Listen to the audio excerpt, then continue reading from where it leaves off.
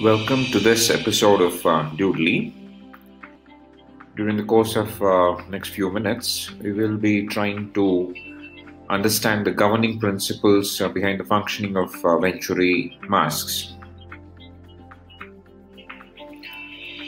All of us would have used uh, our hose pipe with water to either water the garden or wash our vehicles. Normally, this is what happens if we occlude uh, half of the opening of the water pipe, the water flows faster. So, by reducing the area of the end of the pipe available for the water to flow, we're forcing the same amount of water to flow through a reduced area. This can only happen if the rate at which water flows or the velocity of flow increases. This make sure that the water reaches the farthest end of the garden or generates enough pressure to wash the dirt. If we have ever done this, we would have applied the practical aspect of the law of conservation of energy without having realized. Law of conservation of energy states that if no energy is added into a system or removed from a system, the total energy of the system always remains constant. So the energy can only be transformed from one form to the other form. So we can have several different types of energies potential energy, kinetic energy, etc. So the total energy would be sum of both the kinetic and the potential energies. So the velocity or the flow of the system would represent the kinetic energy, and the pressure a system exerts on its sides would represent the potential energy. If for some reason the kinetic energy increases, the potential energy has to decrease in order to keep the total energy of the system constant. This is what essentially used in the design and functioning of a Venturi device. We let the oxygen flow through a tubing by introducing a constriction or an orifice, we increase the velocity of flow of oxygen, thereby increasing the kinetic energy of the system. In order to govern the obey the law of conservation of energy, the potential energy of the system would drop, thereby creating a subatmospheric pressure. By providing openings on the Venturi device at the point of the orifice, we allow atmospheric air to be entrained into the device. Now, the size of the orifice and the area available for the entrainment of air together would determine something called as the entrainment ratio. This entrainment ratio is fixed for a given Venturi device. Conventionally, Venturi masks come with a mask and about five or six different color coded Venturi devices. Each device will have its own recommended flow rate of oxygen and a fixed entrainment ratio. Together the, with the flow rate and the entrainment ratio, each Venturi device would provide a particular FiO2 over the next few slides, we would be mathematically analyzing how a particular colored venturi would give a particular FiO2. For the purpose of simplicity, I have made an assumption or I made a correction that room air would have 20% oxygen instead of 21%.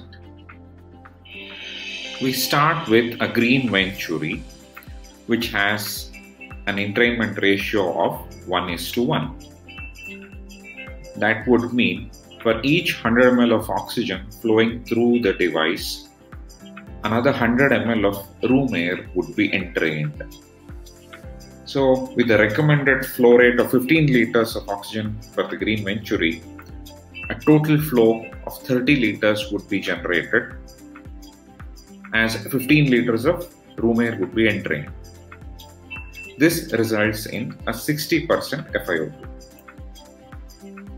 100 ml of oxygen having 100 ml of oxygen, and 100 ml of air having about 20 ml of oxygen. Totally, in the 200 ml, we would have 120 ml of oxygen, which would translate to a FiO2 of 60%.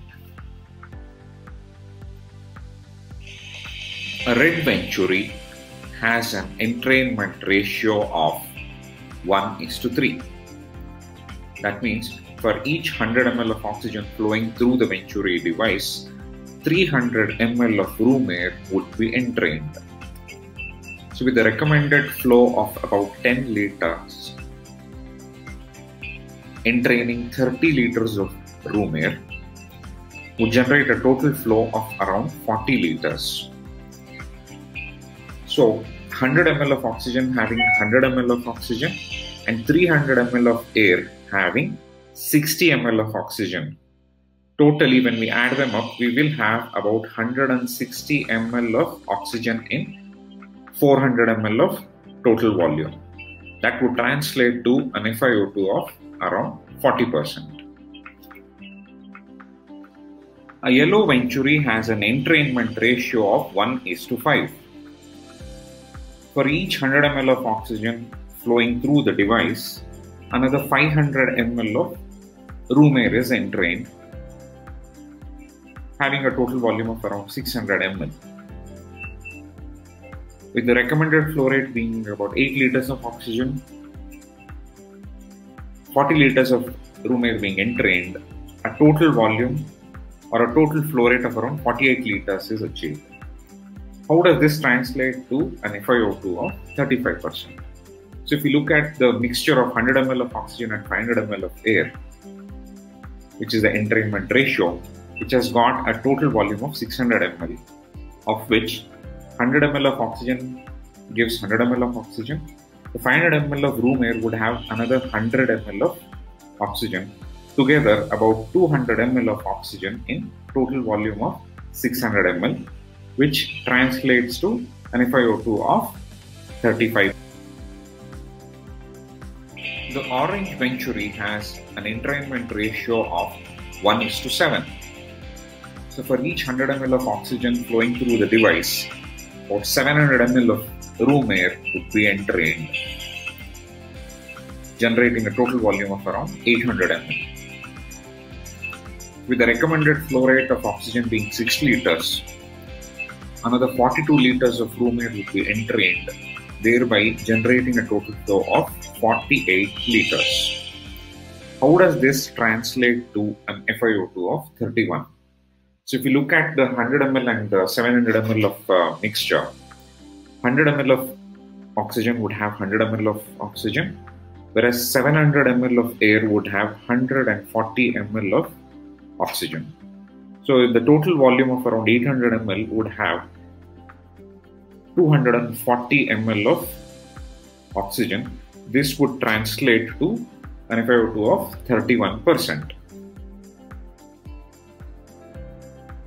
A white venturi has an entrainment ratio of 1 is to 10.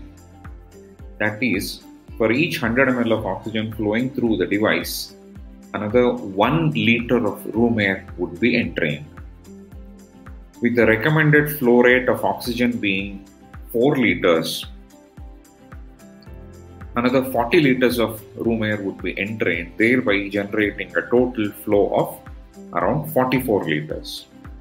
So, if we look at the mixture of 100 ml of oxygen and 1000 ml of air, we would have a total volume of around 1100 ml, of which the 100 ml of oxygen would contribute 100 ml of oxygen, the 1000 ml of air would have about 200 ml of oxygen in it. Thereby, totally we would have around 300 ml of oxygen in 1100 ml of total volume. That would roughly translate to about 28% FiO2. A blue venturi has an entrainment ratio of 1 is to 20. That is, for each unit of oxygen flowing through the venturi device, 20 units of room air would be entrained. So 100 ml of oxygen flowing through would entrain about 2000 ml of air. So with the recommended flow rate being 2 liters of oxygen, another 40 liters of room air would be entrained, thereby generating a total flow of 42 liters. So if we look at the mixture of 100 ml of oxygen and 200,000 ml of air, 100 ml of oxygen would have 100 ml of oxygen, 2000 ml of air would have around about 400 ml of oxygen. So together, the total volume of 2100 ml would have around 500 ml of oxygen. That would roughly translate to an FiO2 of 24%.